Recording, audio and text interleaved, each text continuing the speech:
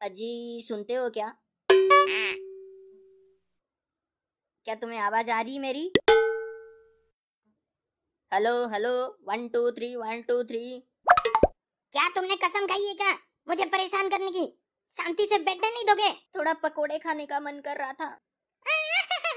पकोड़े खाओगे? जाओ नौकरानी नहीं हूँ तुम्हारी मैं। बस पकोड़े दे दो आज मैं खाना नहीं खाऊँगा काम चला लूँगा। अगर गलती से खाना बनाने बोला तो तुम्हारा जान ले लूँगी मैं। समझ में आई मेरी बात? हेलो? हाँ शर्मा जी बोलिए। अच्छा आप घर आ रहे हो? ठीक है कोई ना आ जाइए मिल लेते हैं। अरे आइए आइए शर्मा जी। नमस्ते चिंटू जी कैसे हैं? अरे शर्मा जी बहुत अच्छे हैं बहुत अच्छे हैं। बैठिए बैठिए। जी शुक्रिया। और बताइए कैसे आना हुआ? ओ जी क्या बताएँ ये लॉकडाउन के वजह से सारे होटल वगैरह बंद हो गए।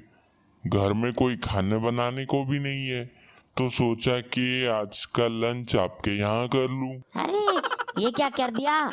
मुझे यहाँ खुद खाने को नहीं मिल रहा। आ, जी कुछ बोला आपने? ओ जी क्या बस शर्मा जी के लिए खाना बना सकते हो?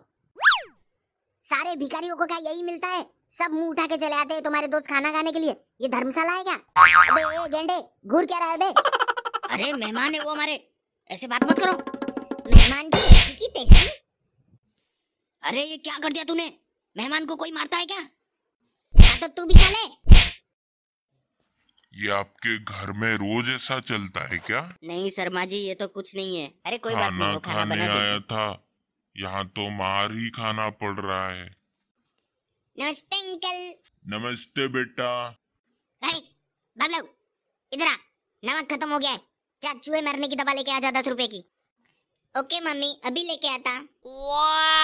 शायद आज जहरीली बिरयानी बन रही है। नमक खत्म हो गई तो चूहे मारने की दवा क्यों भेजा भाभी ने?